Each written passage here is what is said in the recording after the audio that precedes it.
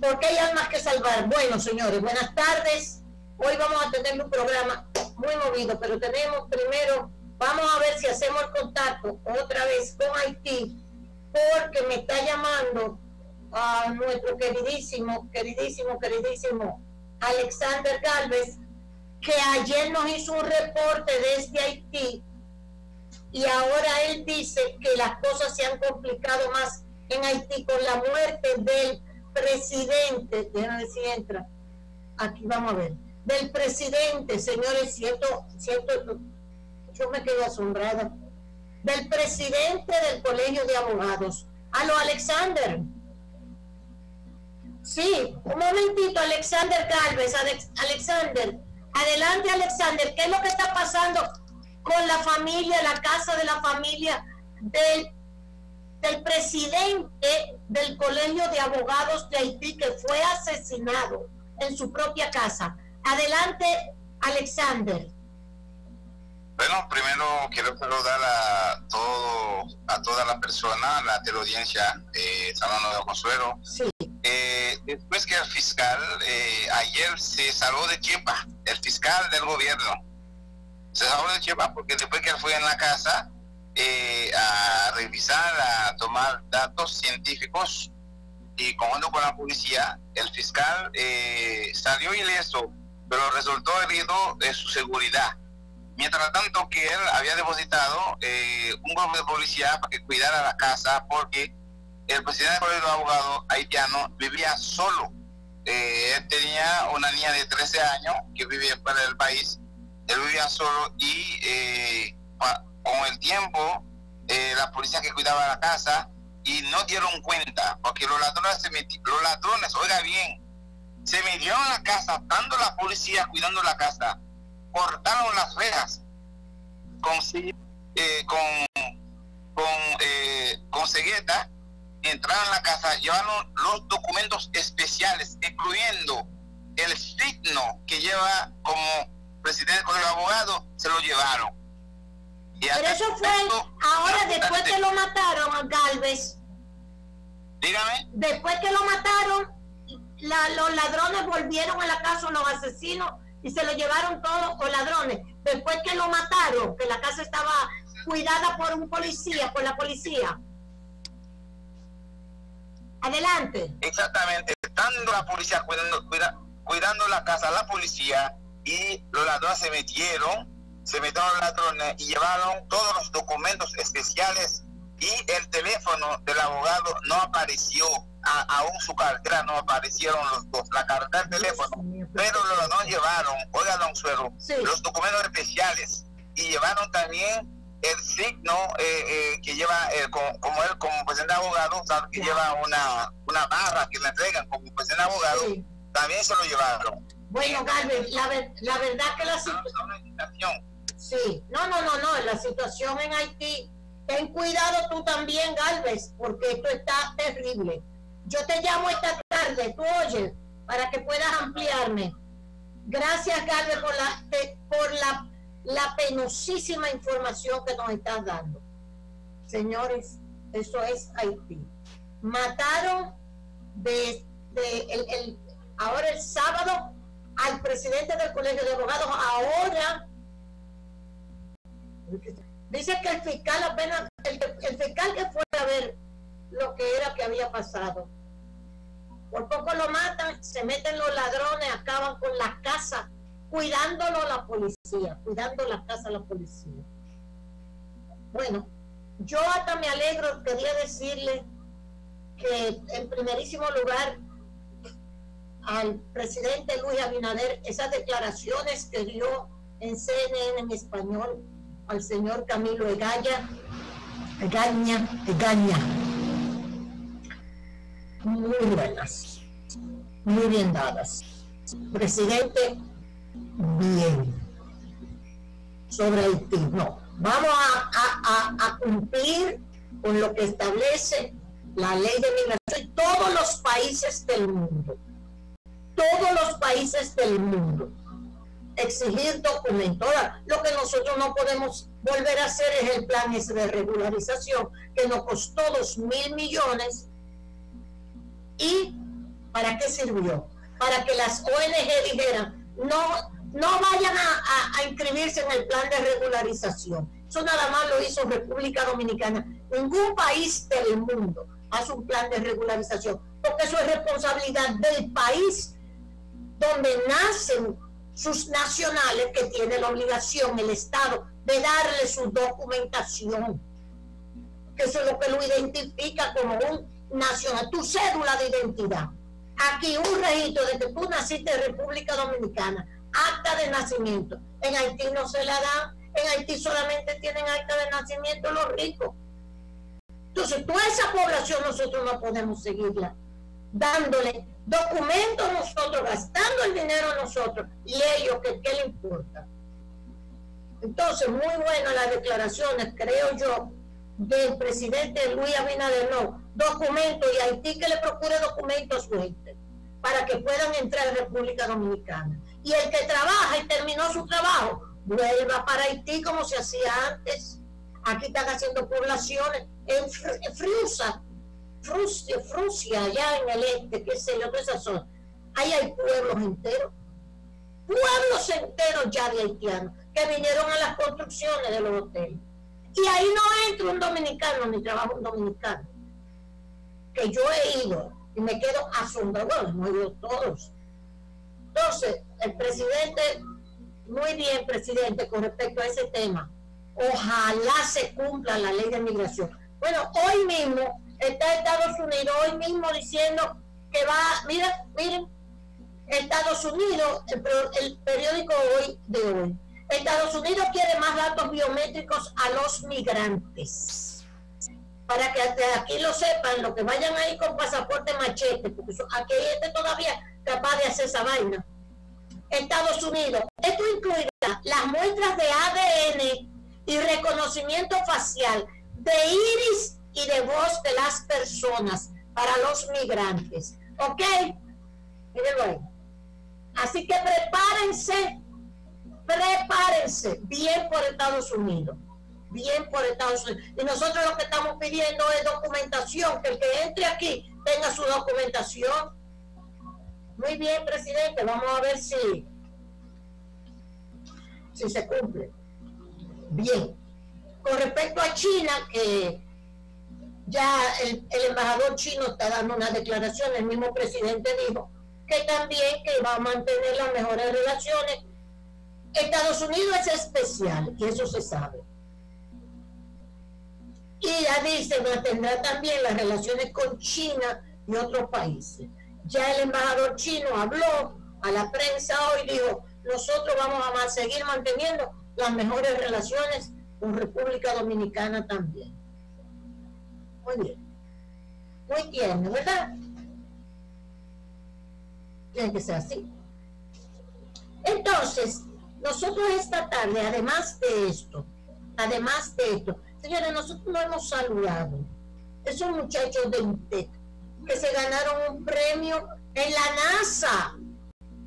En la NASA, hoy sale la foto de ellos. ¿A dónde que sale la foto de ellos? Que me encantó. Yo creo que es en el listín. Míralo aquí. Pero que hay que localizar esos muchachos, hay que felicitar a UTEC Mire esos muchachos, ya lo recibieron, el presidente lo recibió precioso y nos hace sentir bien orgullosos. Sí. Nos hace sentir muy orgullosos, muy orgullosos. Tecnólogos de INTEC en el Palacio, que ganaron ese premio por un concurso que organiza la NASA.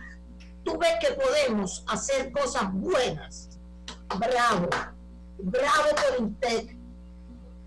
Mi hija, María Fernanda, ingeniera eléctrica, es graduada de INTEC y ahí hay que fajarse. De ingeniería, eléctrica, ahí hay que fajarse. Bien por INTEC y bien por ser recibidos. Qué bueno, qué bueno, presidente. Hay que estimular eso. Muy bien. Entonces, además, el IDAC el IDAC va a estudiar el permiso que le dio, que le dieron al, grupo Abrisa para hacer el aeropuerto en Bávaro, dice que va a estudiar ese permiso, que lo haga porque eso es un enfrentamiento que hay que resolver y hay algo interesante ya porque vamos a pasar a una entrevista con Ernesto Selman sobre economía. Yo estoy muy preocupada con la economía como estamos todos, pero no quería dejar de mencionarles a ustedes un comunicado que sale esta que sale en el día de hoy de un grupo de intelectuales, de personalidades. Imagínense que ahí está, oiga quiénes. Luisito Checker Ortiz, mi primo querido, dicho sea de paso. Luisito Checker, el doctor Luis Checker Ortiz. Muquien Adriana Zambén. Ivonne Ferrera, un besudón. Bonaparte Botró Piñeiro. Virginia Álvarez, la periodista. El padre Rogelio Cruz. El doctor Secundino Palacios Margarita Castro Catrén, desde el Muñoz Rivera, Margarita, Dios te bendiga. Arnulfo Reyes, óigame yo le estoy mencionando algunos, algunos. El chino Bujosa, José Bujosa Miese y Emma, su esposa, Emma Méndez de Bujosa. Eh, Nelson Javier el Cocodrilo, mire, son muchos más. ¿Qué dice en esa carta la dirección ejecutiva del PRM? Que cuando sustituyan a alguien en el Congreso Nacional, a un diputado o diputada, porque lo nombren en un puesto como funcionario, que no sigan con la práctica de nombrar un familiar de esa persona en la diputación o en la senaduría. A, fulanito lo pusieron ahora a dirigir tal cosa. Entonces ven el hermano, la mujer o el, hijo de fulanito. Porque no es una monarquía.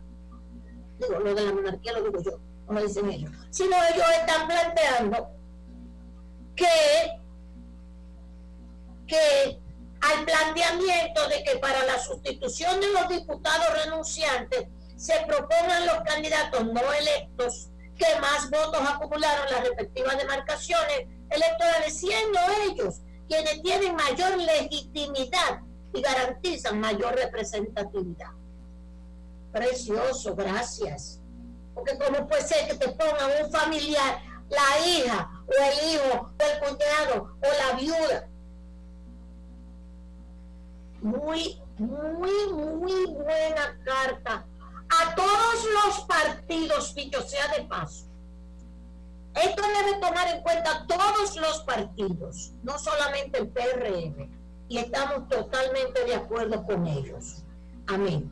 Ahora nosotros vamos a hacer el contacto, Edwin, con Ernesto Selman, porque tenemos que seguir hablando de economía. Dice Ernesto Selman que dirige como vicedirector, ¿verdad? Él es el, la persona que está, vamos a decirlo, en, siempre en representación de el Centro Regional de Estrategias Económicas Sostenibles, CRES, vicepresidente ejecutivo. Hola, Ernesto. Hola, ¿cómo está usted, doña Consuelo? Ernesto, muchísimas gracias por estar aquí también. No vemos ayer, pero lo vemos Gracias a usted por la invitación. Bueno, Ernesto, vámonos rápido porque tenemos que, ganar tiempo. Lo siguiente, Ernesto. Hoy, y ustedes han hecho una rueda de prensa, sale en la prensa lo que ustedes en la CRES están planteando. Varios puntos importantísimos. Eh, el déficit fiscal, el endeudamiento que vamos a tener la cuestión de la deuda, por, supuesto, la, la, cuestión de la insostenibilidad, eso me asustó. Insostenibilidad de la deuda, me asustó. Y la devaluación con esta economía tan complicada. ¿Por dónde tú quieres empezar? Y que necesitamos, que necesitamos mínimo 4.200 millones de dólares más para poder acomodarnos.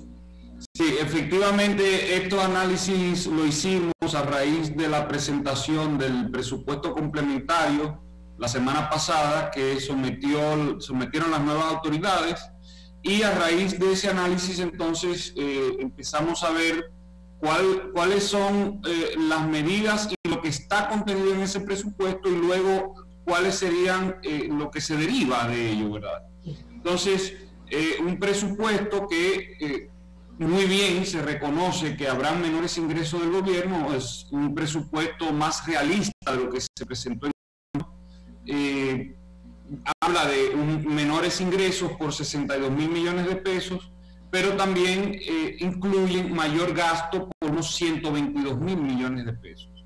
Entonces, si bien eh, era entendible que se quisieran extender los programas sociales hasta diciembre, muy entendible realmente, la realidad es que se debió y nuestra sugerencia pública eh, fue eh, hacer una reingeniería y una revisión completa del presupuesto del Estado de forma tal que se buscaran ahorros, que sí los hay, por lo menos para este año que eh, se van a, digamos, a incluir estos, estos gastos o partidas para ayudar a personas en momentos muy difíciles. Entonces, por lo menos para este año era idóneo hacer esa revisión para que no se incluyeran, no hubiese, se hubiese gastado todo el dinero en adición a lo que se va a gastar en esta partida. Entonces, el problema de los menores ingresos y mucho mayor gasto público eh, implicará entonces un mucho mayor déficit fiscal. Eh, hablamos de un déficit de 9.3% del Producto Interno Bruto, lo que es un déficit que no tiene antecedentes en la historia reciente de nuestro o sea, Ni siquiera en medio de una crisis como bancaria, cuando tuvimos, ha habido un déficit tan alto. No, no, no. no, el, más alto que se ha registrado fue en el año 2012. Sí. El, año que se hablaba, se puso un término de moda en ese momento, el desguañangue fiscal. Eh, ese, en ese año llegó a 7.1% del producto del PIB, el, déficit. Es decir, que se presenta este déficit. ¿Cuál es el tema? Cuando uno habla de déficit fiscal, para las personas muchas veces no le dice mucho, no, no, no le tiene, no lo siente que tiene incidencia, pero el tema, eh, y hay que ir entonces llevando eh, en la cadena cómo es que va teniendo incidencia sobre los demás aspectos.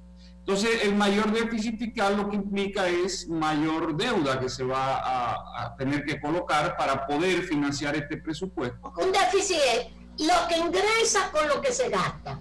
Esa diferencia en un hogar igual de nosotros. Igual en un hogar. ¿Y cuánto estamos gastando? Esa diferencia en contra déficit fiscal. Y hay un déficit que tiene que financiarlo con un préstamo o un fiado y después o esconderse como hay cuando llegue el cobrador.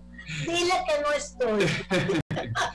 Bueno pero ese es el, eh, lo que se deriva de eso es que se va a requerir emitir mayor deuda y, en nuestras estimaciones estamos hablando de 4.200 millones de dólares de aquí a fin de año y de nuevo, ¿qué se deriva de eso? Porque sí se, van a poder, se va a poder colocar la deuda, hay un exceso de liquidez a nivel mundial. En la economía local hay un exceso de liquidez, por lo que se busque, ya ayer se colocaron eh, unos recursos del Ministerio de, de Hacienda, del Tesoro, para financiar el déficit parcialmente. Se hizo a unos tipos de interés relativamente bajos para lo que habíamos visto por el hecho de que hay un exceso de liquidez que el banco, las autoridades monetarias.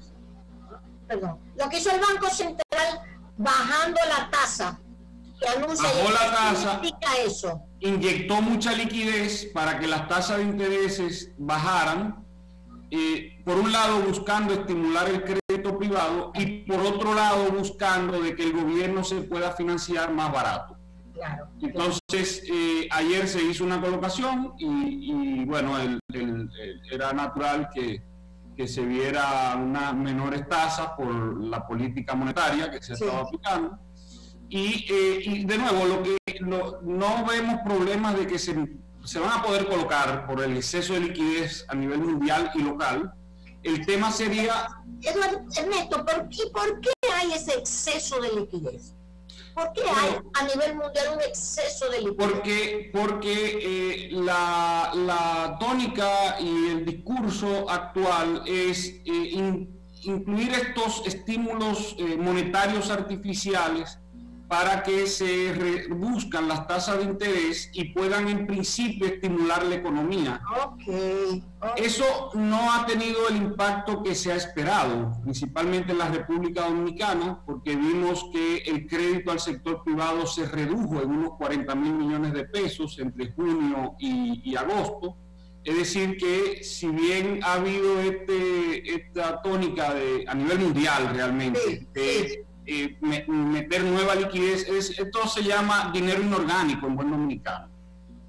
Eh, en el mundo se está haciendo, doña Consuelo, no solamente en nuestro país. Se, inyecta dinero inorgánico para buscar reducir la tasa de interés, pero el tema con, y ahí usted hablaba, mencionó la depreciación de la moneda, el tema con, con economías como la dominicana, porque si usted tiene una moneda que sirve de reserva a nivel mundial, por ejemplo, los Estados Unidos emite dólares y todo el mundo quiere dólares, todo el mundo tiene reservas de dólares en sus bancos centrales y emiten sus monedas en base a esas reservas de, de dólares. Si Estados Unidos lo hace, no tiene el mismo impacto o la misma incidencia que si lo hace una economía sobreendeudada, con una serie de características que tiene la economía dominicana, y eso es un poco lo que estamos diciendo, que puede tener ciertas implicaciones en este aspecto, pero también hacia futuro las ejecuciones presupuestarias, los presupuestos van a estar muy constreñidos porque eh, se incrementa sensiblemente el pago de intereses. Entonces, vamos a aumentar, ustedes dicen, la CRES, ustedes dicen, el pago el porcentaje del pago de la deuda. Eso es lo que tú estás diciendo. Que se incremente el pago de los intereses, porque usted tiene que emitir más deuda, tendrá que pagar más intereses. Entonces el tema... ¿Cuánto más o menos ustedes le calcularon esos intereses? Del pago Nosotros tenemos un indicador que utilizamos como un indicador de, de, alerta temprana para los riesgos, ¿verdad? Eh, el, el indicador que usamos es el pago de intereses como porcentaje de los ingresos tributarios. Sí. Es decir, eh, ¿cuánto de los ingresos que recibe el gobierno por el cobro de impuestos, por las recaudaciones, cuánto de esos ingresos tengo que pagar para eh, el pago de intereses? El año pasado la República Dominicana, 23% eh, de los ingresos del gobierno por impuestos se pagaron en intereses.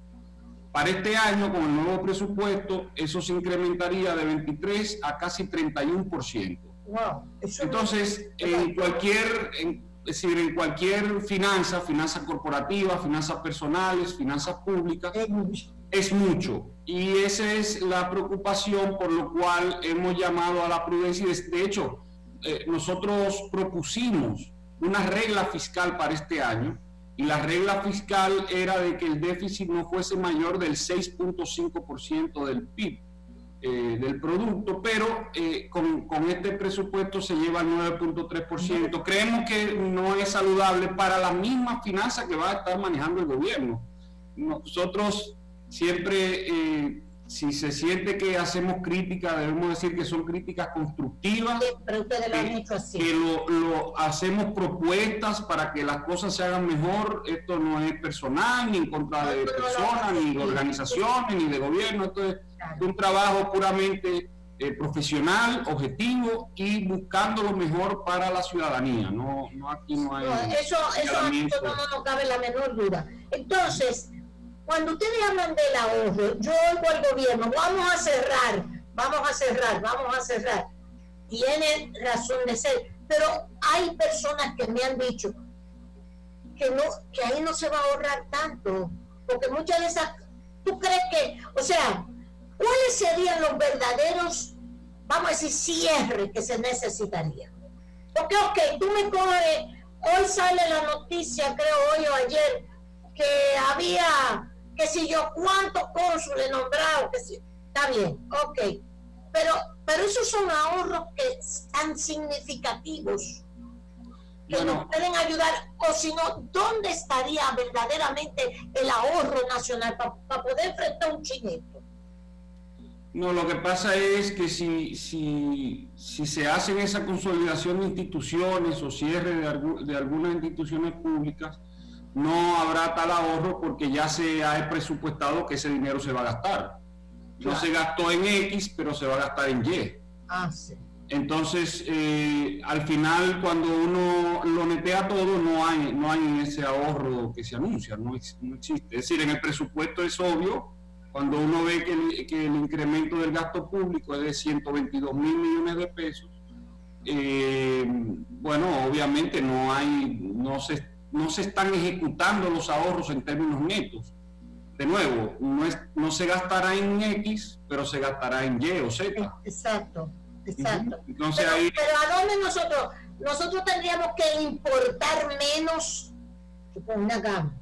Deberíamos importar menos combustible de lo que estamos importando. Deberíamos.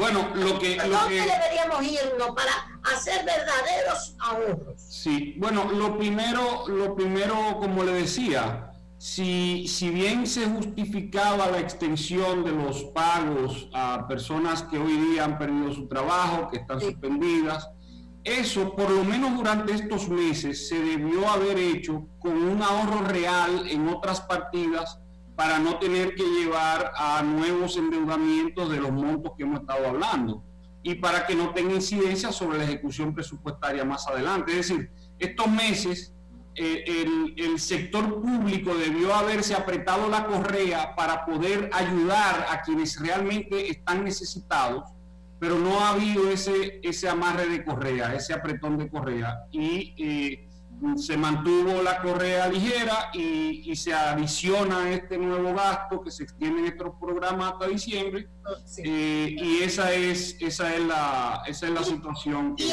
a lo que todo el mundo le anda huyendo siempre ustedes los economistas los funcionarios y los empresarios. Reforma fiscal. Y entonces bueno eso es mala palabra en tiempos de pandemia bueno, eh, como se ha hecho en República Dominicana es mala palabra siempre, porque, porque en la República Dominicana se habla de reforma fiscal para aumentar los impuestos. Y lo que necesita la República Dominicana es todo lo contrario, simplificar el sistema de impuestos, porque es que el sistema actual está promoviendo la evasión, la ilusión fiscal y está promoviendo la informalidad. Sí, estamos hablando de que en la República Dominicana hay entre 55 y 58% del empleo que está en la informalidad. Y eso es excesivo. Entonces, ¿qué está ocasionando estos niveles de informalidad en nuestro país? Y uno de los factores principales es el sistema de impuestos.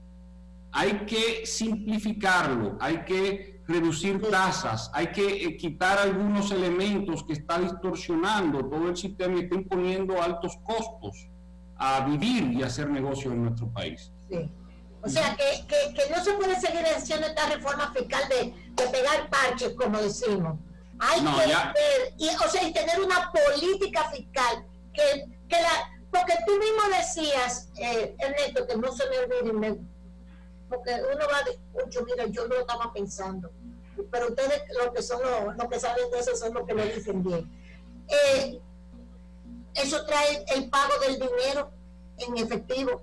Sí, para a todo esto. Sí, eh, motiva el uso de ese, ese pago de anticipo, eso, eso tiene descabezado, descapitalizado a las pequeñas industrias principalmente, a todas. Sí, pero eso son barbaridades todavía y principalmente porque el ciclo de cobro de las empresas, eh, principalmente pequeñas y medianas, es de 90 días en nuestro país y, este anticipo se está requiriendo mensualmente, entonces no se tienen los recursos para hacer frente a estos pagos de, de, anticipos. Eh, eso es parte de lo que nosotros estamos proponiendo.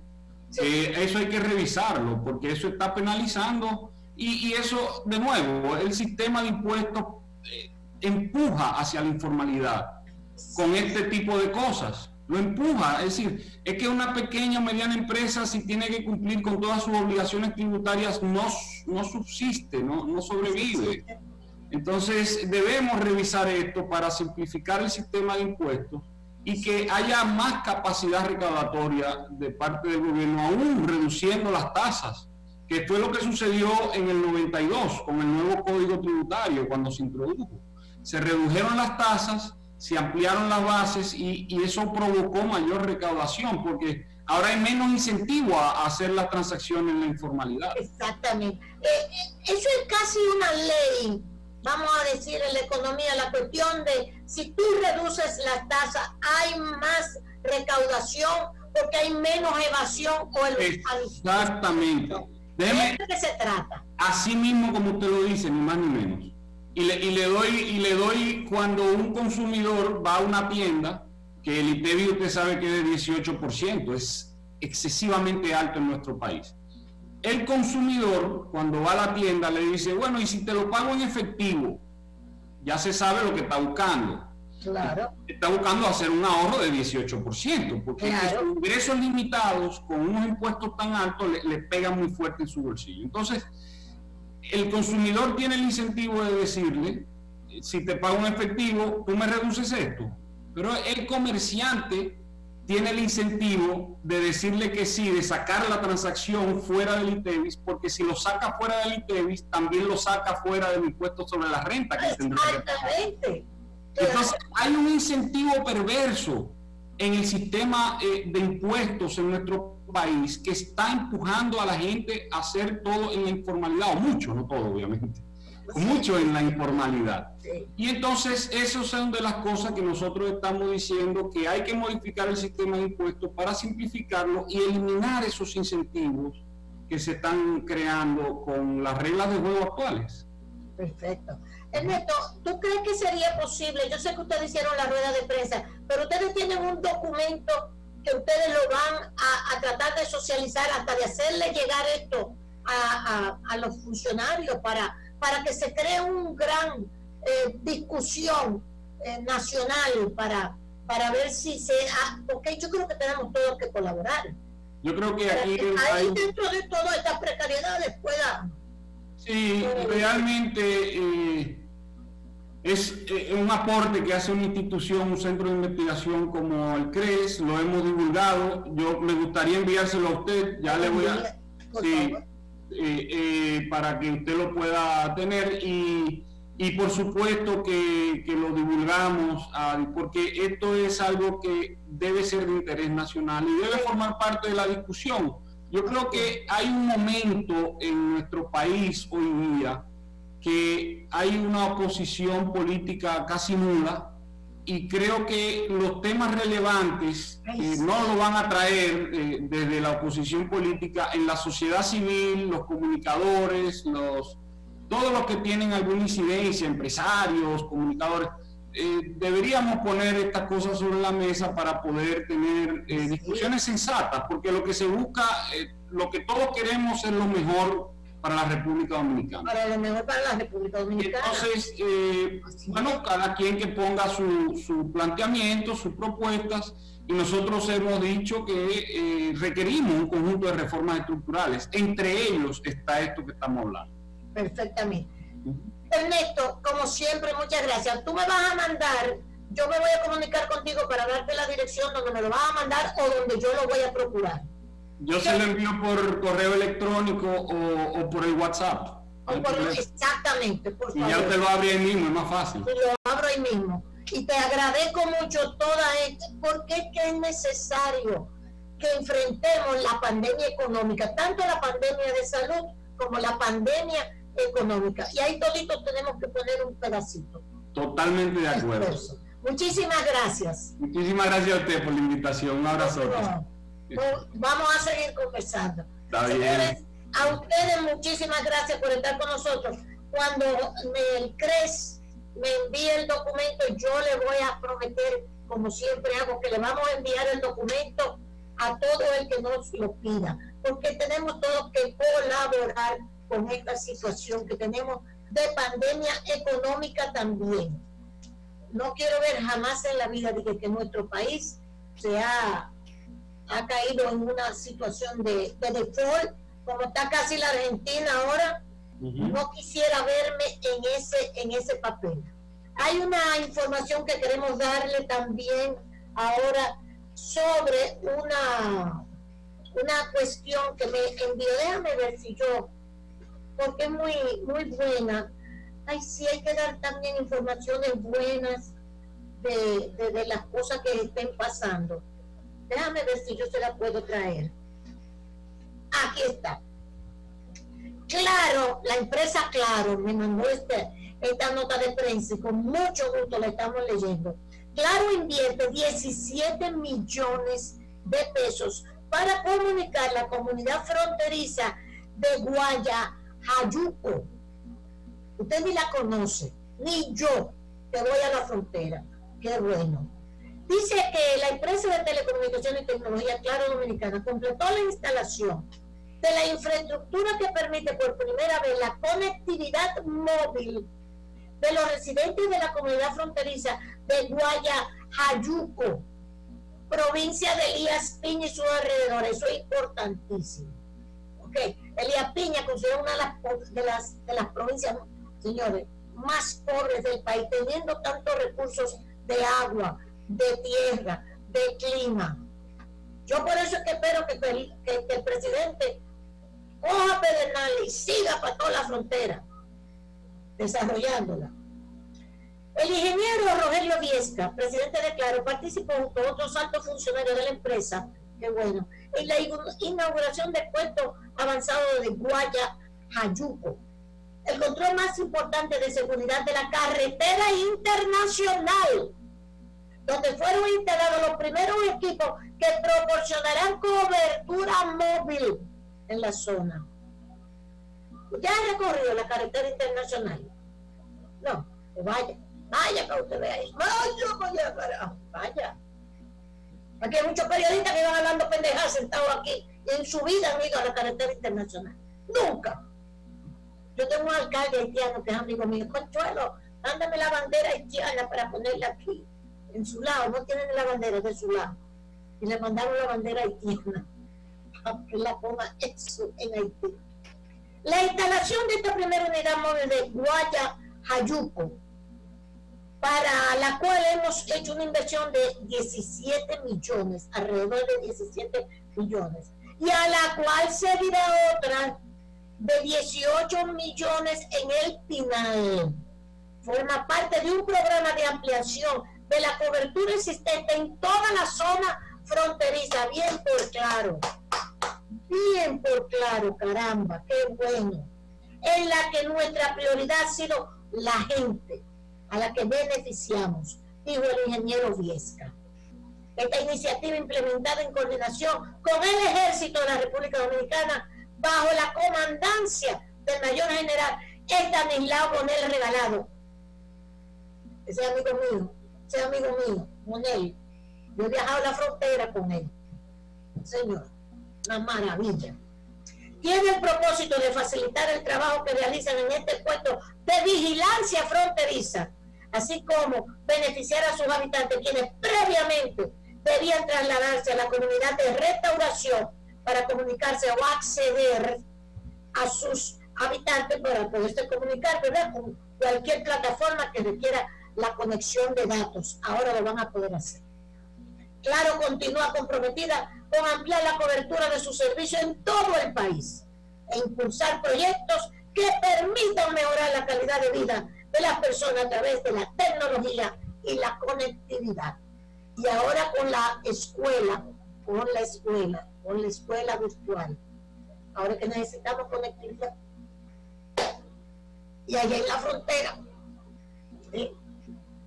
Gracias, claro. Excelente. Vamos a leerle nos sentimos hasta mira emocionados con esto. Señores, esta tarde, esta tarde, ustedes han visto el anuncio que tiene AES con nosotros, que comenzó ahora. Toda la labor que AES está haciendo, AES Dominicano, excelente, muy bien. Ese, ese carácter social de las empresas no debe perderse jamás no es solamente dar. Precisamente, precisamente, Claro tiene una fundación para ayudar a, una fundación para crear especialidades a técnicos, que es la de don Carlos Slim, hecho sea de paso. AES tiene esta, esta propuesta, ustedes lo ven, las ayudas que está dando. Propagar, la gente de Propagar tiene el medio ambiente defendiéndolo. ¿Me entienden lo que yo le quiero decir? Tenemos que volver, como dice Circe Almanza, de la IRD, vicepresidenta de la IRD. Tenemos que enamorarnos de nuevo de nuestro país y de lo nacional y de los productos nacionales. Usted va al supermercado, compre la salsa de tomate dominicana, los espaguetis dominicanos, los aceites dominicanos, el arroz y la bichuela dominicana el café dominicano, el jugo rica dominicano. Cada vez que usted haga eso, usted le está dando trabajo a los dominicanos. Muchas gracias. Aclaro por esta inversión que está haciendo. Gracias al grupo, a la empresa AES, a todas, a Café Santo Domingo, al grupo Rica, a todas Gracias. Nosotros tenemos que y para hacer turismo, vámonos nosotros a hacer turismo también. Vamos a hacer turismo. ¿Ok? Ok. Esta tarde vamos a conversar con José Joaquín Puello desde Sol de la tarde porque José Joaquín está también, mire, José Joaquín es de lo que está firmando el comunicado que yo le leí al PRM, y vamos a hablar del COVID y de las últimas situaciones con el COVID y con Juan Miguel Castillo Pantaleón. Eso es en Sol de la tarde, nos vemos dentro de un ratito. Gracias.